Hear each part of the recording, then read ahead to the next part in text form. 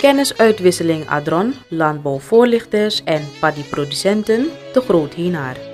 Op de openbare school te Groot Hienaar is een kennisuitwisselingsbijeenkomst georganiseerd tussen de landbouwvoorlichters van LVV, Adron en paddyproducenten met als thema ziekten en plagen in de rijstbouw.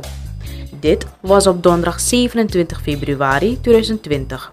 De bijeenkomst is verzorgd door de coördinator van het ministerie van LVV Regio West, de heer Kido van der Kooijen, en de directeur van het Anne van Dijk Reistonderzoekscentrum Adron, de heer Narine Gayadin. Het volledige bericht kunt u lezen op www.deboodschap.today.